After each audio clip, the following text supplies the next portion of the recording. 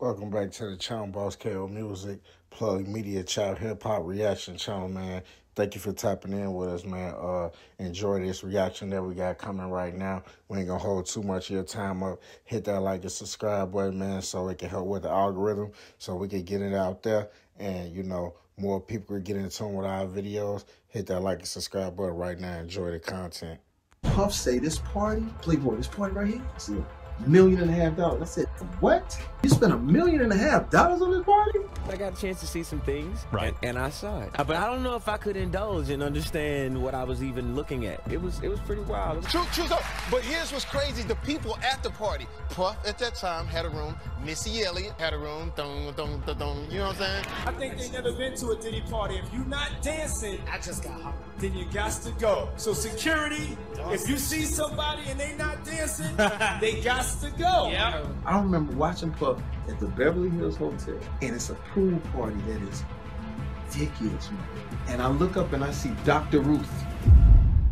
Diddy is known for being a hip hop mogul and the owner of the very successful music label Bad Boy Records. But more than his music, he's known for throwing some unbelievable parties.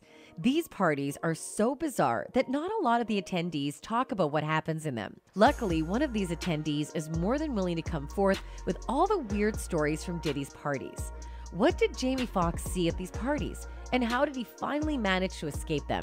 Let's find out. I think they never been to a Diddy party. If you're not dancing, I just got hard. Then you got to go. So security, if you see somebody and they not dancing, they got to go. Yeah. Period. Point blank. Diddy has made himself an insane amount of fortune thanks to his record company Bad Boy Records. It's how some of the biggest names in the hip hop world, like the notorious B.I.G., French Montana, and Machine Gun Kelly. Diddy is a millionaire, and if there's one thing he doesn't mind blowing money on, it's his elaborate and freak. Yo, we back. So, you know, tell me in the comments what you think about this reaction so far, man. think the video nice, man. I think we post nice videos, nice content for you guys to enjoy, man. Drop some comments below. Let me know what you think about this content, man. You know, uh, appreciate you tapping in. You know what I'm saying? Hit the like and subscribe button for us right now. Party. What's up, man? Get look at it, baby. Come on, man. Let's get these ladies over here. Let's do it. It looks like the one thing Diddy is really passionate about is his parties. He pours all his heart in making sure his parties are unforgettable. Be it birthday bashes on the 4th of July parties, you know that man is going to go all out. His white summer parties are the talk of the town, and everyone wants an invite. Paris Hilton was happy to have been invited to his first white party. I remember the first party he threw in the Hamptons. Paris Hilton tells THR it was iconic and everyone was there. His parties have guest lists that can feature more than a thousand guests, and these parties come with very strict dress codes, such as the white parties in which everyone must show up dressed in white from head to toe. Martha Stewart was invited to one such party and spoke about how strictly everyone followed these rules. Having an entire party all dressed in white was a stunning sight, says Martha Stewart, a guest at the first party. And it helps that Diddy looked very handsome in white. Considering how dominating and controlling Diddy is known to be, it's not surprising that people are turned away from these parties for showing up in black shoes. That being said, not all his parties can be talked about. Diddy is notorious for holding bizarre and weird parties that not a lot of people can come forth and talk about. But there is one regular guest at Diddy's parties who isn't afraid to talk about all he's seen. I would show up to the party in my little uh, in a little town car. This town, you know, I grab me a town car so I could skirt. Puff the SUVs and Rolls and Bentleys. Of course, these parties are exclusive and fancy and ridiculously expensive. Only a few people are invited to these secret parties, and these people don't have much choice but to show up to these parties. After all, Diddy has made himself an empire in the music industry, and anyone who dares to go against him should just kiss his career goodbye. Diddy doesn't hold back when it comes to spending money on parties, girls, drugs, and alcohol. He will go to any length to have a good time, which is why his secret parties cost millions. He doesn't even try to hide how much money he spends on these outrageous parties. In fact, he himself told Jamie Foxx how much just one of these secret parties cost him. Well, Puff say this party, Playboy, this party right here, I said, million and a half dollars. I said, what?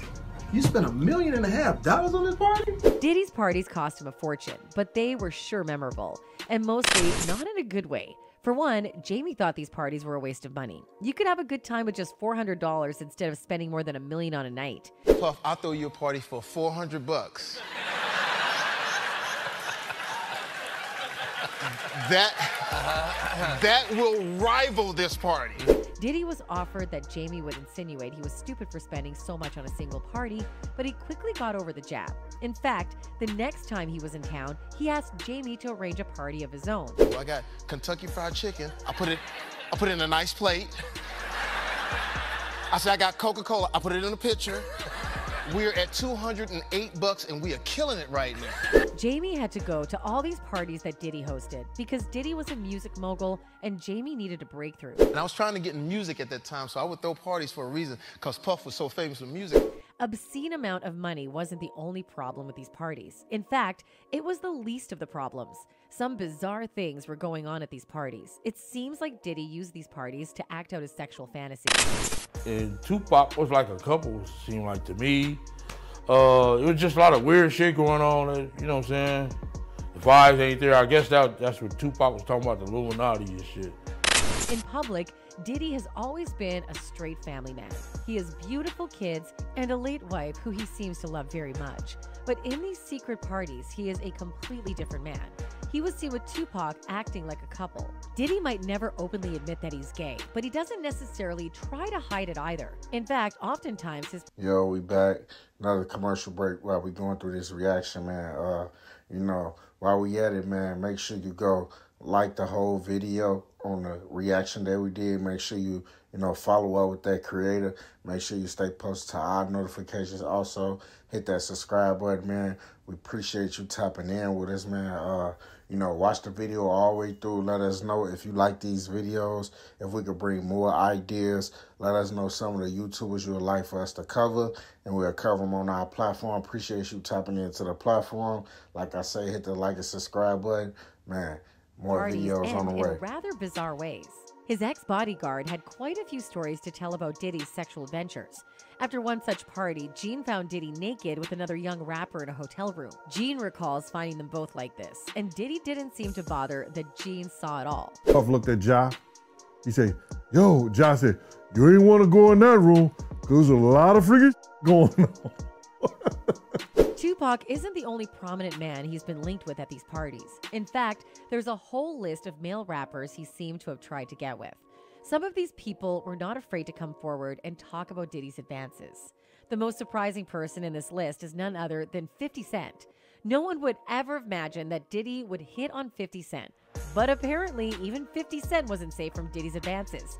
50 Cent recalls this story in a rather funny way, saying, he was like, yo, he's like, yo, so yo, when we gonna get the chance to, you know, to kick it, like we could just hang out. We gotta, we gotta Who kick that? it. This is- Puff. Okay. He telling me we gotta kick it, and he was like, yo, why don't we like go shopping? I mean, like I pay for it. And I was like, this just said. Diddy is famous for taking his flings shopping. So when he asked 50 Cent this, the poor rapper was visibly taken aback. Well, you're yet to hear the worst of it. At least 50 Cent was an adult that could easily turn down Diddy's advances because there was someone else who couldn't. Usher was sent to live with Diddy as his mentor before his first album when he was just 14 years old. Some really concerning videos have since emerged that make Diddy look like a complete monster. used to wake up and I mean, damn, pause, but like I mean, I mean, back in the days when he was like 10 and I was a little bit older, his older brother, we used to fight over the over the frosted flakes. Diddy had been sharing a bed with Usher when he was just